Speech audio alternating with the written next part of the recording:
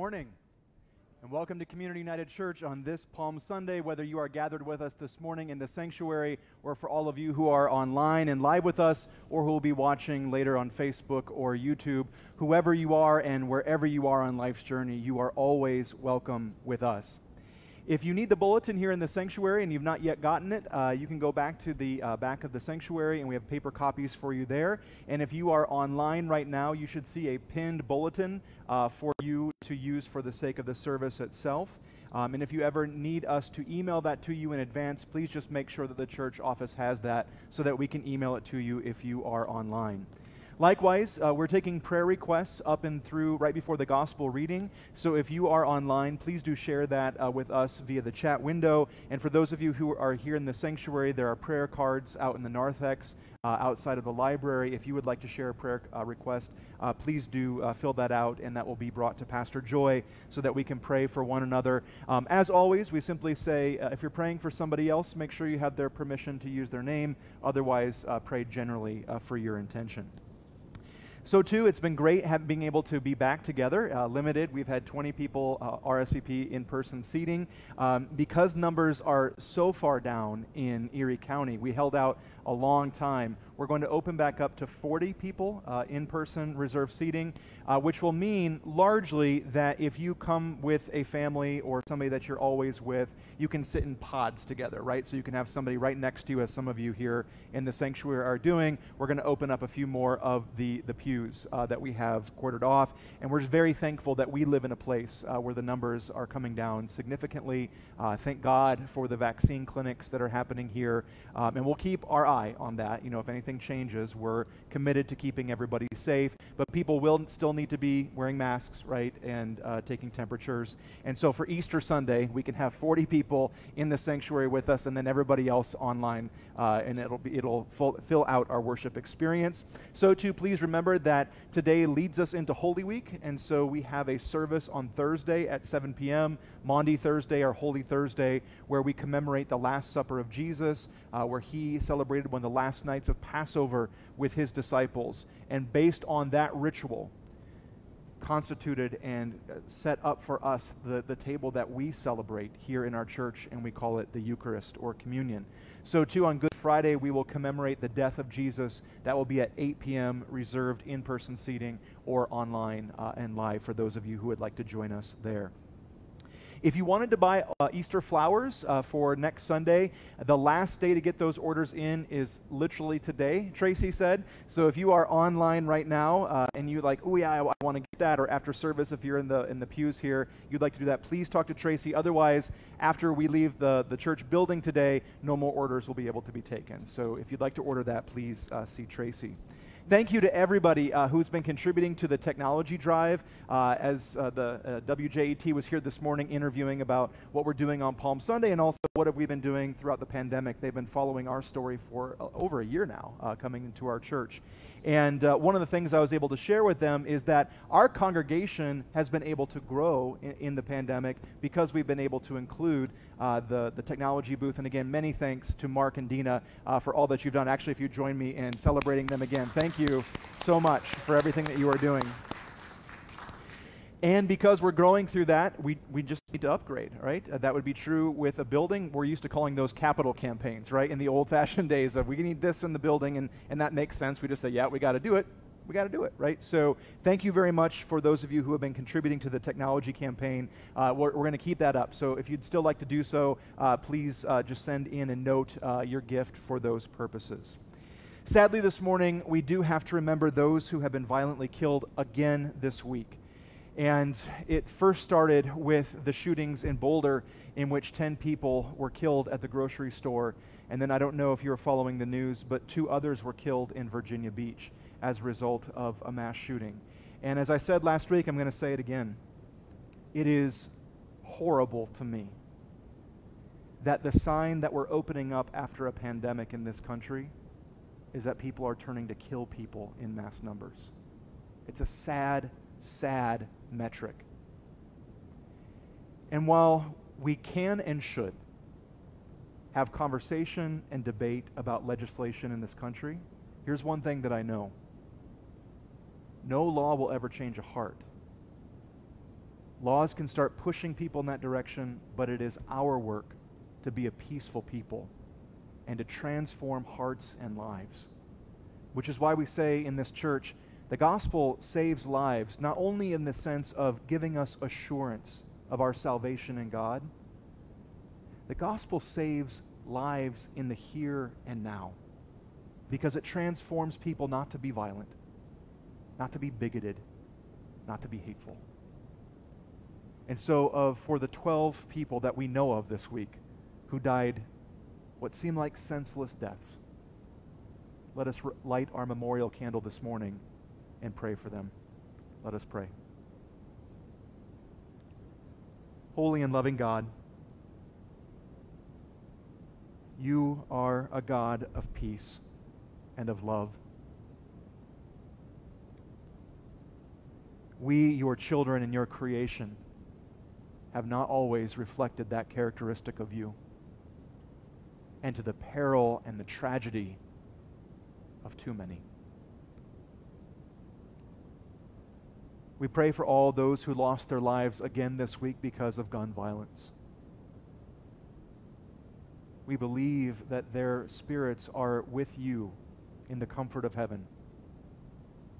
But we who are still in time and space mourn. We live with fear and anxiety. We pray for their families and for their loved ones as they grieve. We even dare to pray for those who commit violence.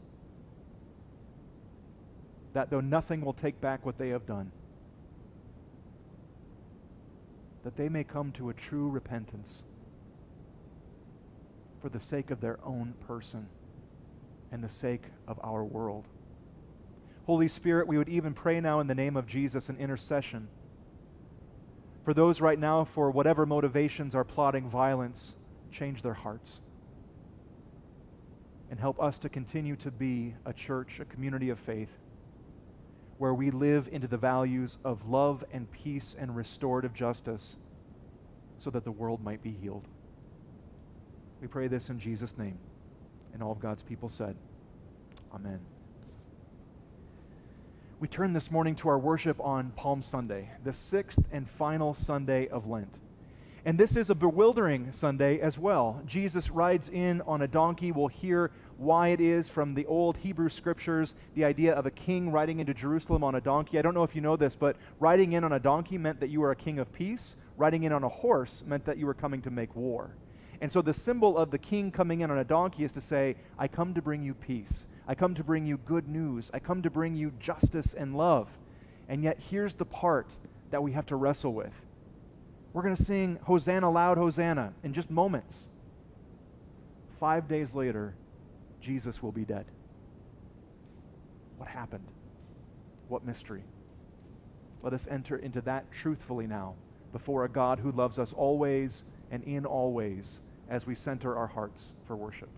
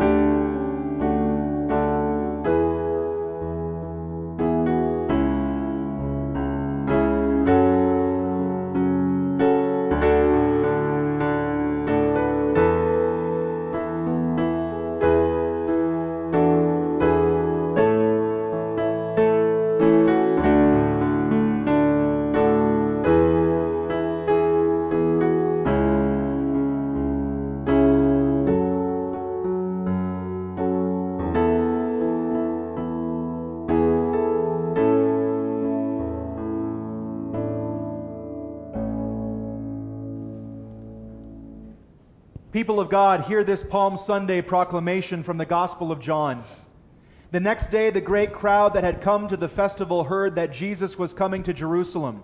So they took branches of palm trees and went out to meet him, shouting, Hosanna! Blessed is the one who comes in the name of the Lord, the King of Israel. Jesus found a young donkey and sat on it, as it is written, Do not be afraid, daughter of Zion. Look, your king is coming, sitting on a donkey's colt. Let us stand in our, our body or spirit as we are able and welcome Christ into Jerusalem this morning.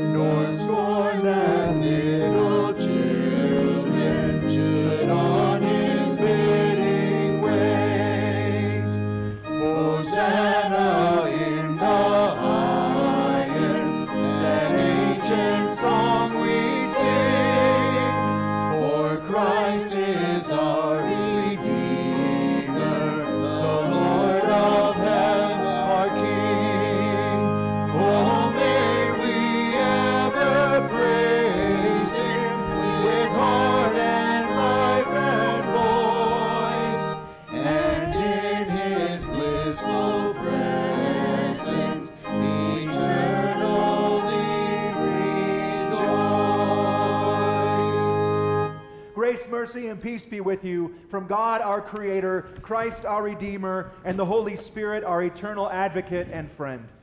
And also with you.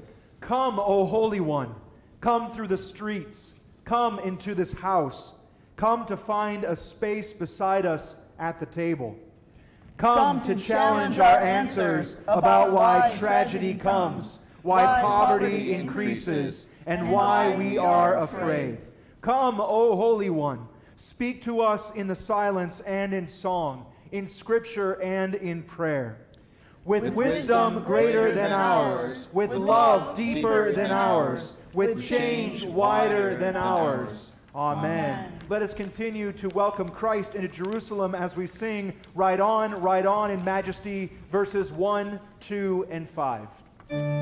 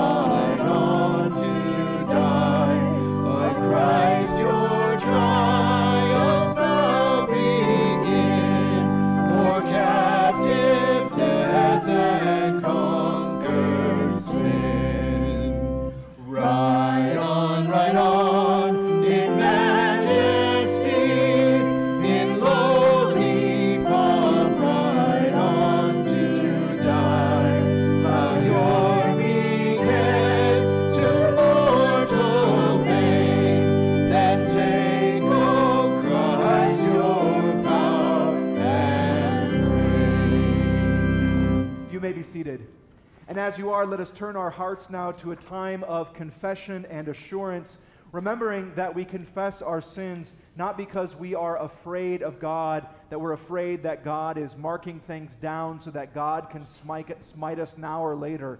We confess our sins because we believe that more enduring than our sin is the image of God within us, and that God loves us, and God created us to be happy, to enjoy one another, nature, and God and so when we stumble in the ways of sin, we become trapped, we become bound. Confession, therefore, is about freedom, it's about liberty, it's about knowing that the God who made you is the God who always, always, always wants to restore you. So let us pray together with the words as found in your bulletin. Holy One, as we walk with you towards your cross, we see that your face did not turn from your dedicated mission to pour out the love of God we have not always been so bold nor courageous. Lord, Lord have, have mercy. mercy. Christ, Christ, have, have mercy. mercy. Lord, Lord, have mercy. mercy. Jesus, you have told us that you identify with the least among us and with all who walk in love or faith. And yet, too often, the church, throughout the generations, has not opened her doors of welcome to all. Lord, have, mercy. Christ, have mercy. Lord, have mercy. Loving God, we each have a foot in the kingdom of heaven and a foot in the reign of sin. In the silence of our hearts, we confess our sins to you.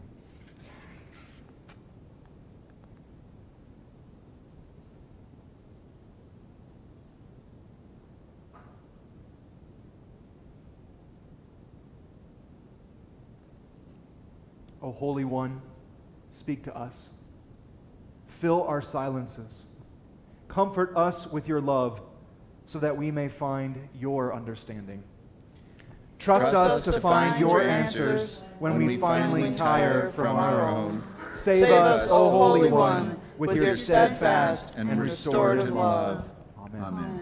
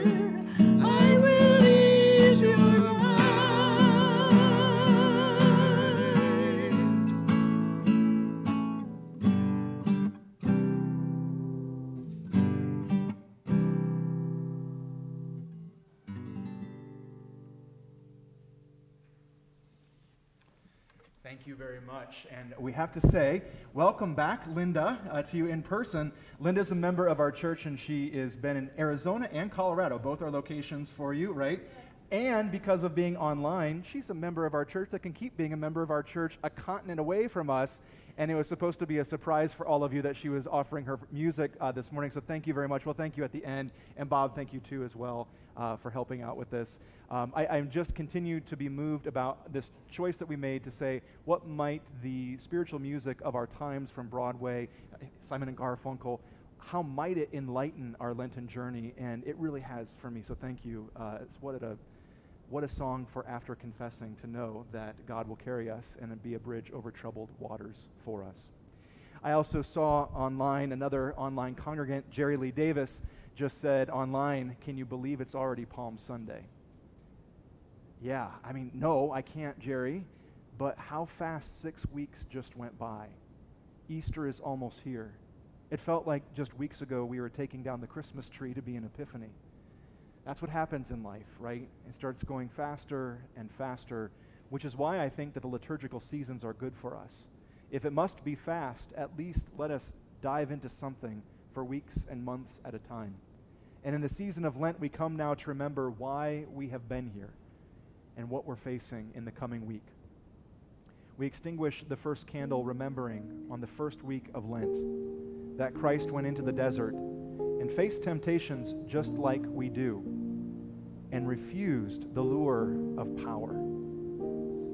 We extinguish the second candle for the second week of Lent, remembering that Christ calls to us to take up our crosses and to follow him. We extinguish the third candle for the third Sunday in Lent. We remember that Christ went into the temple he was wild. He turned over tables. He drove out those who would exploit others. For Jesus, religion isn't just nice and quiet or well behaved. We extinguish the fourth candle for the fourth Sunday of Lent, where we heard those empowering words For God so loved the world that he gave his only Son, that whoever believes in him will not perish have eternal life. Remembering also that God loves us before we get anything right, including our theology. We extinguish the fifth candle, remembering last week, the fifth Sunday of Lent, the many and varied ways of God. That God is not formulaic. There's not just one way. You don't have to find out, pass a test, right, or figure out some kind of a, a symbol or a riddle in order to get God but rather God is the one who works through all of our lives in many ways, including through death. And this week, we extinguish the last candle, remembering how it is that Jesus rode into Jerusalem. And we've sung the joyous songs, but we know what comes next his own death, his own betrayal. So let us now, in communion with Christ, sing to Him, and ask Him to make us one with Him. Jesus,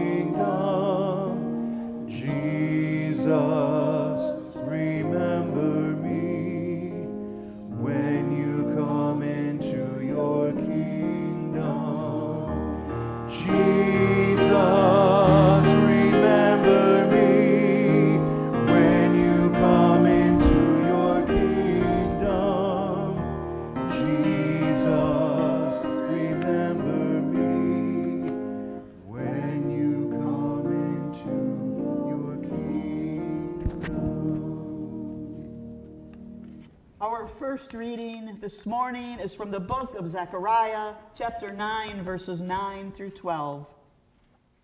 Rejoice greatly, O daughter Zion. Shout aloud, O daughter Jerusalem. Lo, your king comes to you, triumphant and victorious is he, humble and riding on a donkey, on a colt, the foal of a donkey.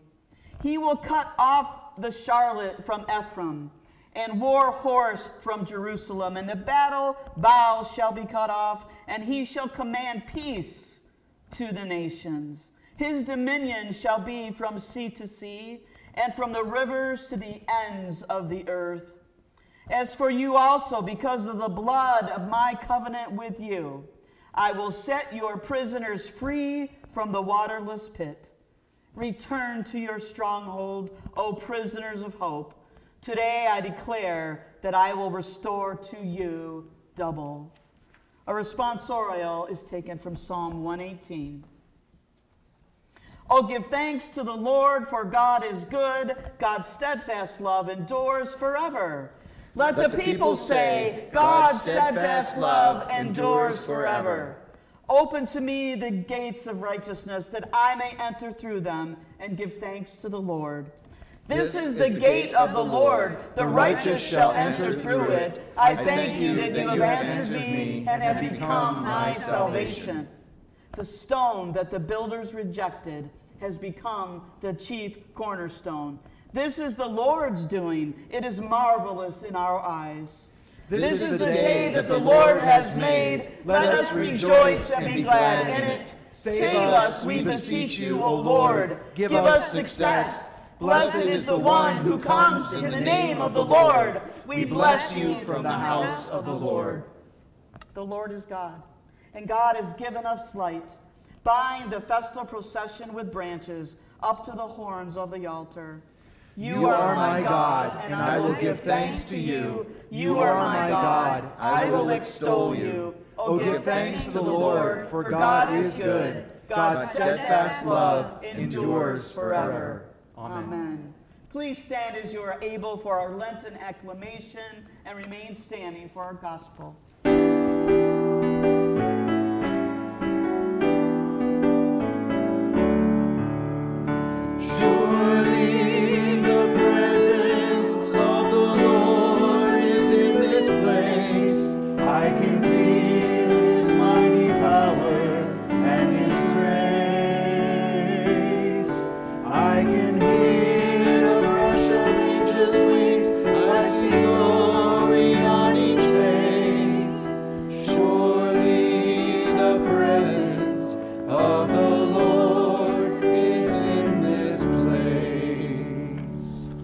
Our gospel reading this morning comes from the Gospel of Mark, chapter 11, verses 1 through 11. Listen again for the living word and wisdom of God who is still speaking and who can still speak through the scriptures when we open up our hearts for understanding. When they were approaching Jerusalem at Bethphage and Bethany near the Mount of Olives, Jesus sent two of his disciples and said to them, Go into the village ahead of you, and immediately as you enter it, you will find tied there a colt that has never been ridden. Untie it and bring it. If anyone says to you, Why are you doing it? just say this The Lord needs it, and will send it back here immediately. They went away and found a colt tied near a door outside in the street. As they were untying it, some of the bystanders said to them, What are you doing, untying the colt? They told him what Jesus had said, and they allowed them to take it. Then they brought the colt to Jesus and threw their cloaks on it, and he sat on it. Many people spread their cloaks on the road, and others spread leafy branches that they had cut in the fields. Then those who went ahead and those who followed were shouting, Hosanna! Blessed is the one who comes in the name of the Lord. Blessed is the coming kingdom of our ancestor David. Hosanna in the highest heaven. Then Jesus entered Jerusalem and went into the temple. And when he had looked around at everything, as it was already late, he went out to Bethany with the twelve. These are the words of God for the people of God. Come, Come Holy Spirit, Spirit thanks, thanks be to God. God. You may be seated. In 1977, Oscar Romero was appointed a Roman Catholic Archbishop of San Salvador, which is the capital of the country El Salvador. At that time, Bishop Romero was considered a stalwart conservative, devoted to defending the doctrines, the liturgies, and the rituals of the church. But when his friend and fellow priest, Father Grande, was assassinated by military security forces in El Salvador, Oscar Romero began seeing his world in a new way, as if for the first time. You see, Oscar Romero had benefited from the privilege of his church position as a bishop. He could look at the troubles of the world from that 30,000 foot view. You know what I mean, right? Way up high.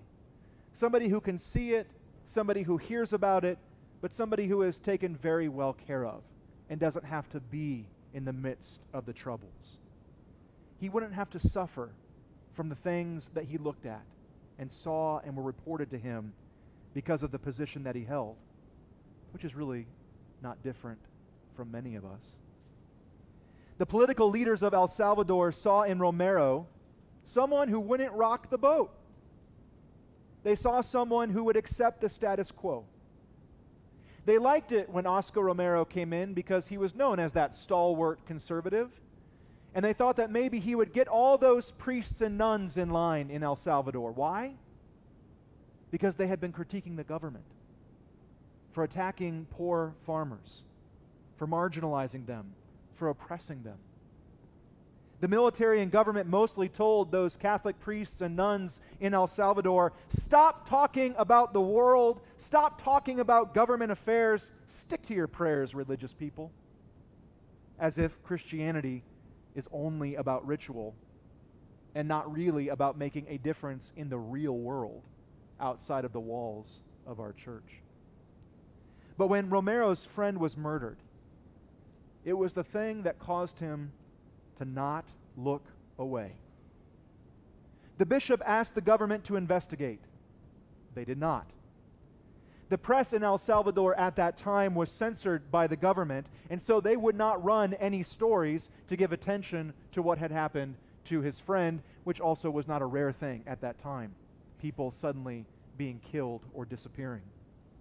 In 1979, two years after Oscar Romero was appointed as an archbishop, a revolutionary government seized power in El Salvador, a military based government. And that came with a rise in violence and eventually a civil war. The United States, our country, was providing military aid to the new government in the name of stamping out Marxist communists. But the effect of it was that American bullets, not American troops, but American bullets, were killing Christians in small base communities where they were just trying to survive. Oscar Romero wrote a letter to the president, then President Jimmy Carter, and pleaded for our country's military aid to stop because so many of his people, so many of the Christians, were being killed. That same year, Oscar Romero went to meet with Pope John Paul II and begged for the pontiff to condemn the right wing's violent regime and all of those human rights violations. No such declaration was made. The following year, Oscar Romero delivered a sermon on March 23, 1980, in which he called on the soldiers in El Salvador to obey the command of their God, not to kill people unjustly, to lay down their weapons, and to stand up for love and peace, the principles of the gospel, and to stop carrying out the government's oppressive orders and violating the human rights of the people of El Salvador the next day, while saying Mass, Archbishop Romero moved away from his pulpit and to the communion table to celebrate the Eucharist. And just as he stepped to the communion table, a car pulled up outside of a small church, probably just a chapel that he was at. A gunman walked to the door, fired his weapon, and killed Bishop Romero, striking him through his heart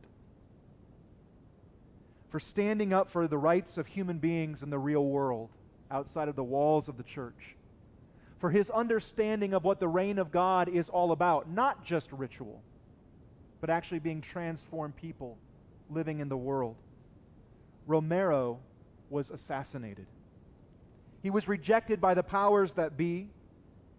He was left to die at the very communion table that commemorates and meets the crucified Christ. The coincidence or the resonance should not be lost on us.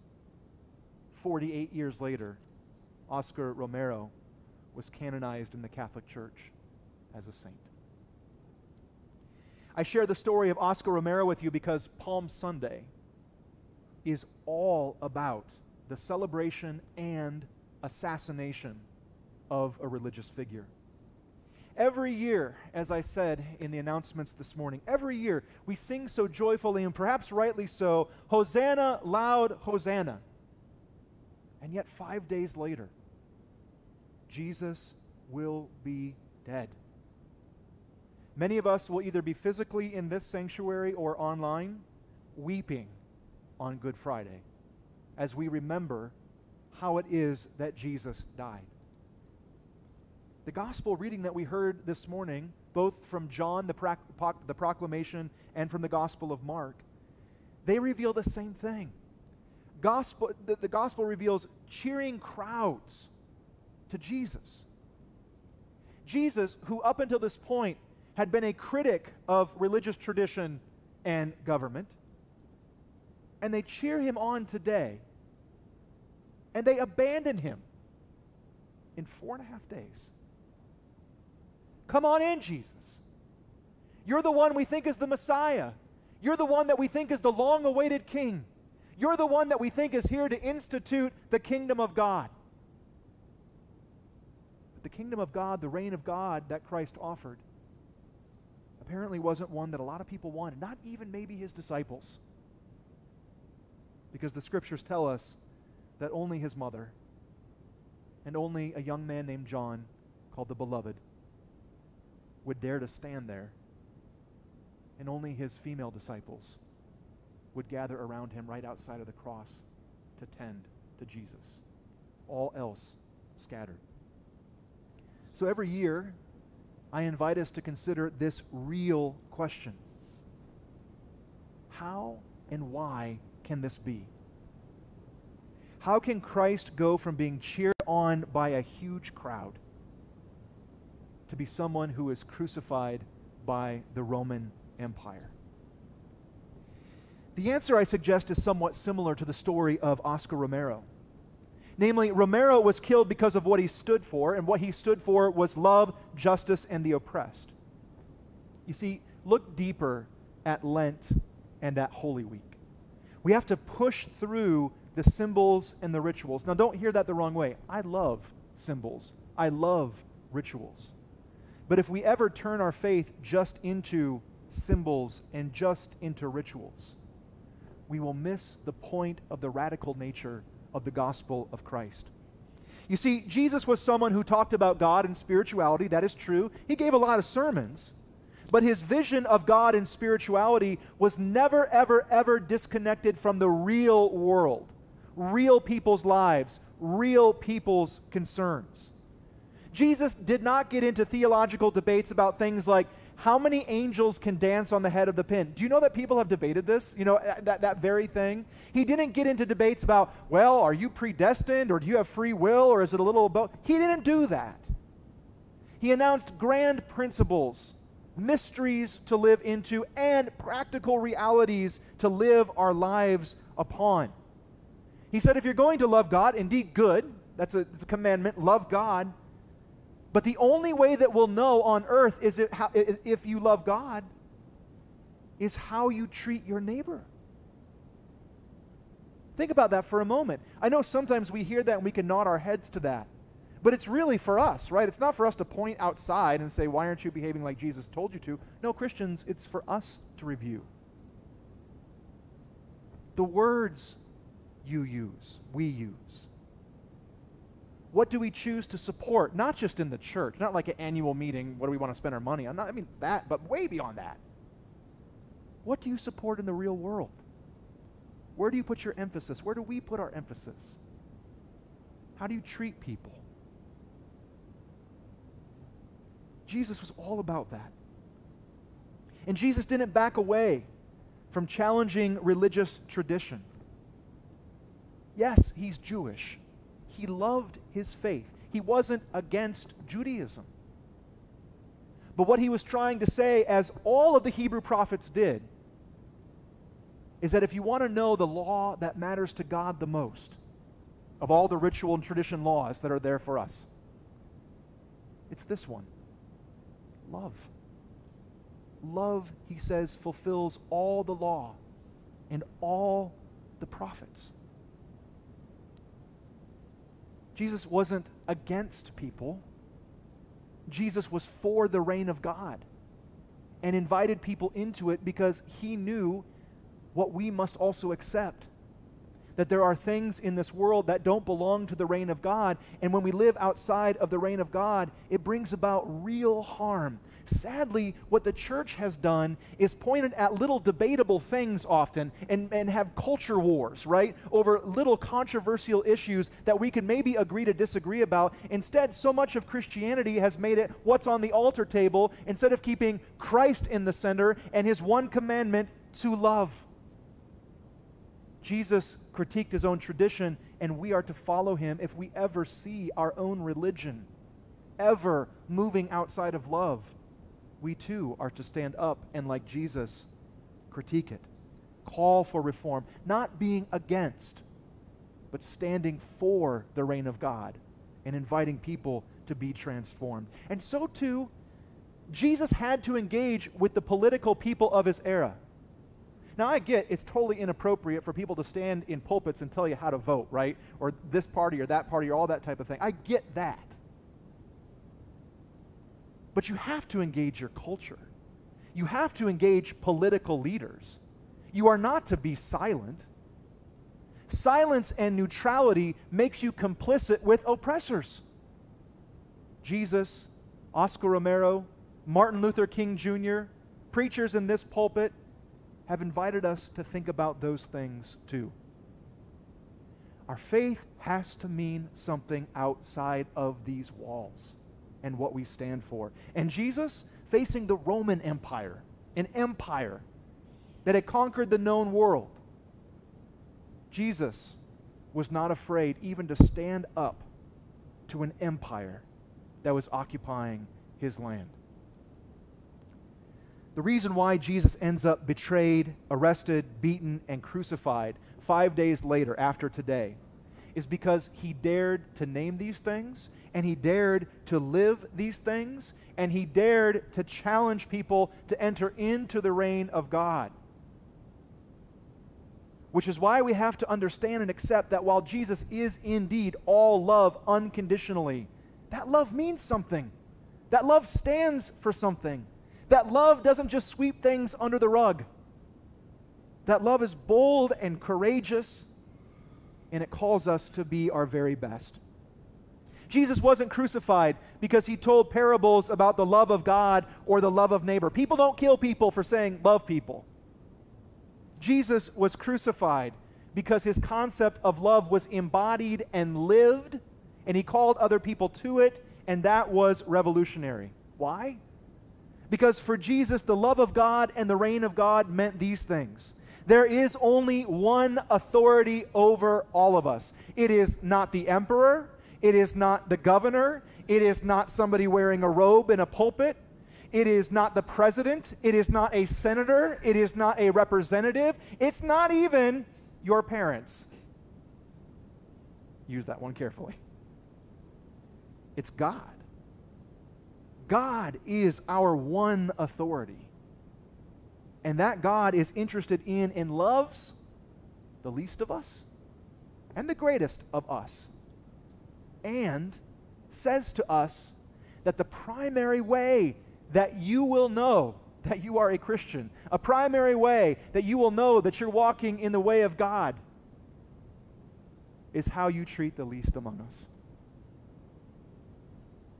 For Jesus, the love and the reign of God meant that respect for and obedience to earthly leaders ends. Capital E N D S, ends. When religious or political leaders transgress the love and the justice of God. And for Jesus, true spirituality wasn't limited by ritual or sacred space. He dared to teach us that our one true ritual is the practice of love, and our sacred space is wherever we are gathered together in that love. Sometimes, yes, in a sanctuary, sometimes at home, sometimes with a stranger on a plane. Let me tell you what. The moment any of us start challenging the status quo, or once you start showing that the status quo has a lot of room for improvement, that will attract enemies. You've stood for something. The moment you step out of religious tradition in order to draw the circle wider of who belongs and who is loved, you'll probably get called a heretic. The moment you threaten the power and privilege of those who want it all to themselves, then you'll find a target on your back, on your head, or on your heart. So, as we consider Christ's triumphant entry into Jerusalem again this year, let us now pause and ask ourselves the question I mean, all of us right now. What Jesus do we welcome this Sunday? Do we welcome a less than fully Jesus? Or do we welcome Jesus as he was and as he is? Let me suggest these things. The less than fully real Jesus is the safe Jesus who doesn't ask anything of us. The less than fully real Jesus is merely a ritual Jesus who we listen to in Scripture, who we come to the table and receive, and maybe in prayer, but never on the streets. If we're never meeting Jesus on the streets, it's the less than fully real Jesus. The less than fully real Jesus is a religious Jesus who's watching how you behave in church instead of the untamed, wild Jesus who would dare to flip tables in the most holy of temples. Which Jesus do we welcome? Which Jesus do we worship? Now, I'm not trying to put you on a hook, because when I ask those questions, very often I worship the not really real Jesus. It's easier to have the convenient Jesus. It's easier to have the Jesus that you hold on to, right, and you're in control of. It's easier to welcome the Jesus who tells you what to do so that you can tell others what to do. So if you and I are going to move beyond that, how do we do it?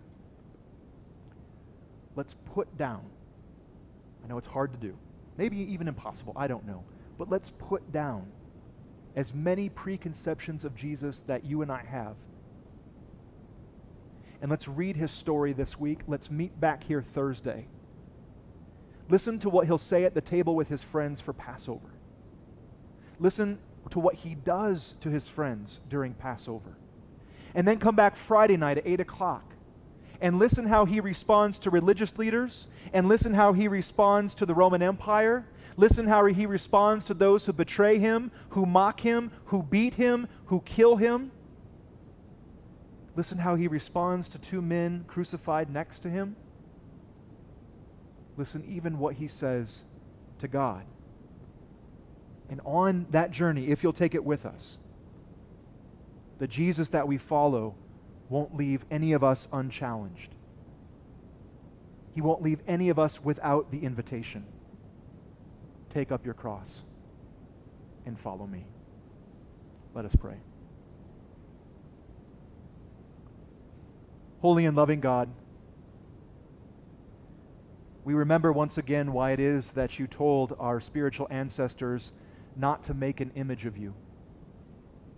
Too often we become welded to that.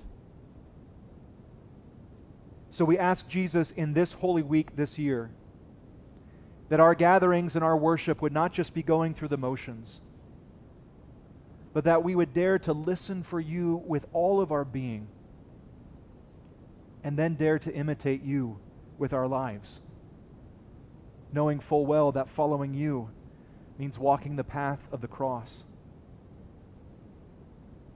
means being rejected sometimes but above all, it means finding holy community bound together in love, with the promise and the power of Easter that is to come. We pray these things, Jesus, in your name. And all of God's people said, Amen.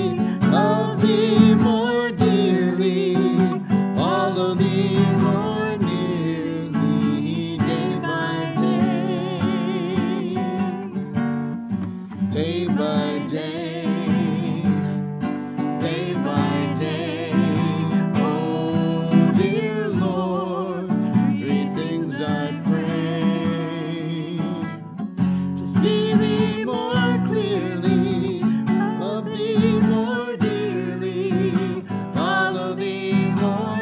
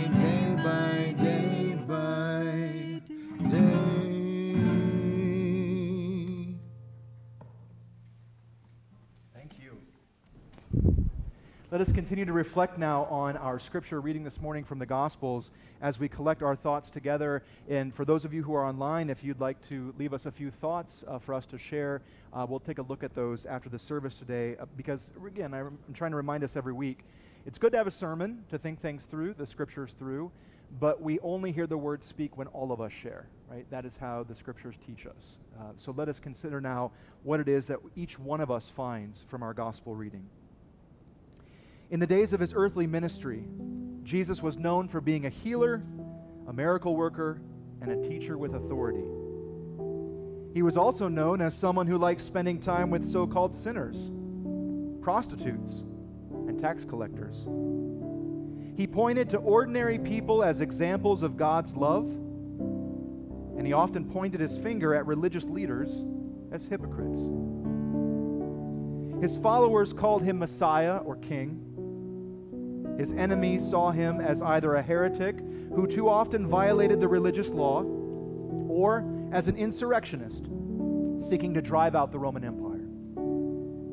When we look at Jesus, what do we see? What do you see? What kind of Jesus do you welcome? The untamed one of Scripture or the controlled one of religion? How do we discern these things well together? I invite you to keep meditating on those questions as we stay in a spirit of worship and prayer for our time of offering. As you think about what kind of Jesus you welcome, that we welcome, let us also ask God now in this moment, even if we might not ever get our theology right completely, could we just a little bit more be an offering to the world of all that love, all that justice, and all that peace? So, too, during this time, if you are so moved or inspired to give a material offering for the sake of the ministries of this church, that is well received. But let's just remember our best and first offering is what we give to the world as a sign of God's love every day.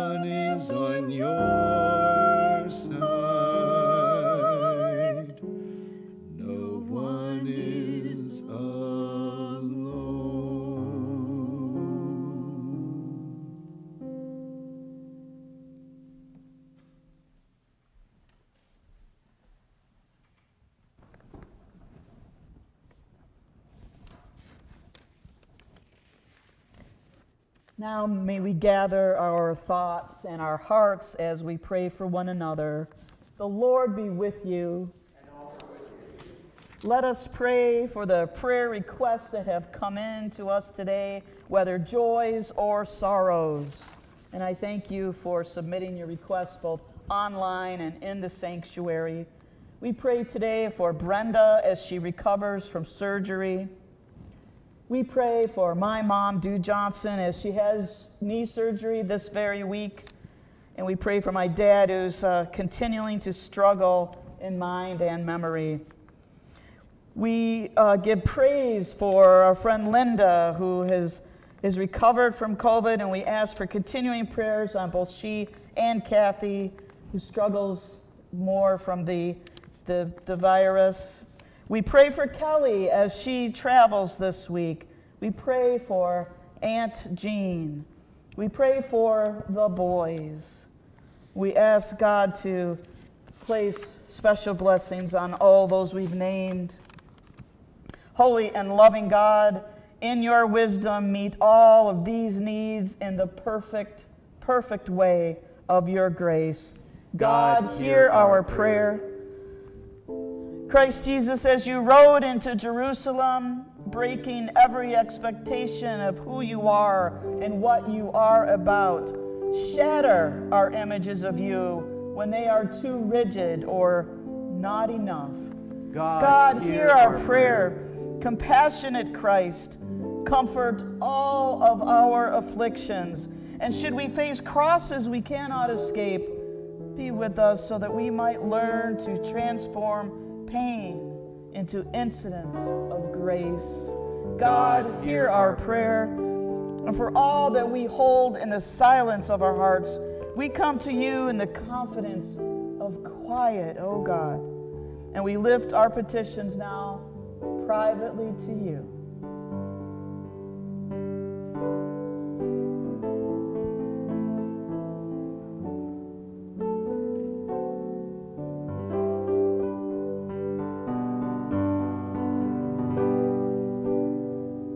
Almighty God, sovereign of heaven, send a double portion of your blessings upon all people and move the mountains in our lives or help to move us so that we might be fully at peace. And this we pray in the name of Jesus, who taught us to pray, Our, Father, who art in heaven, hallowed be thy name. Thy kingdom come, thy will be done on earth as it is in heaven. Give us this day our daily bread, and forgive us our debts as we forgive our debtors. And lead us not into temptation, but deliver us from evil. For thine is the kingdom, the power, and the glory forever. Amen. Please stand for our Lenten congregational response.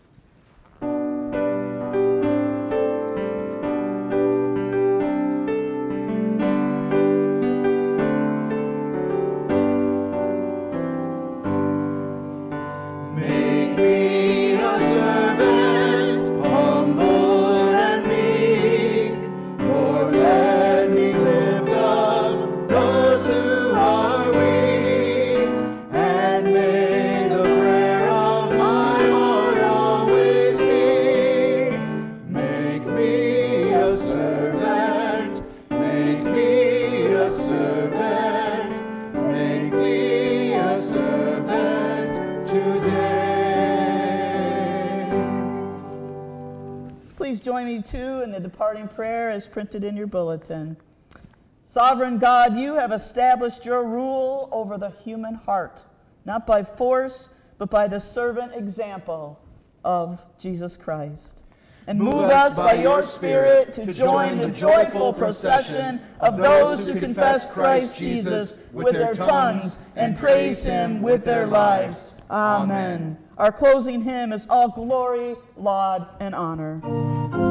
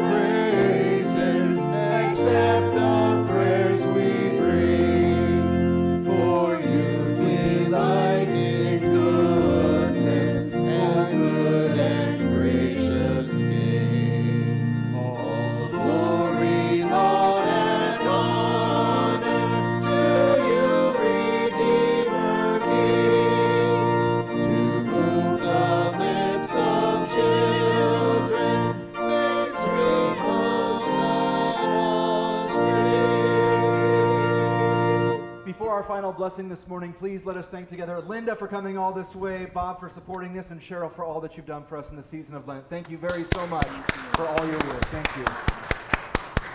And now let us bow our heads for God's blessing.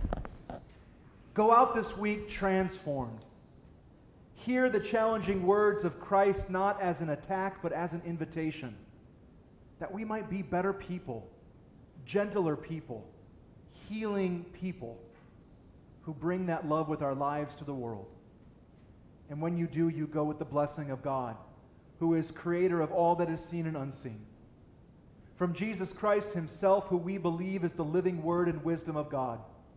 And from the Holy Spirit, God's almighty and eternal presence, who for us is our eternal advocate and friend. And all of God's people said, Amen. Amen. God bless you. We'll see you this week during Holy Week, and then again as we celebrate Easter and the resurrection.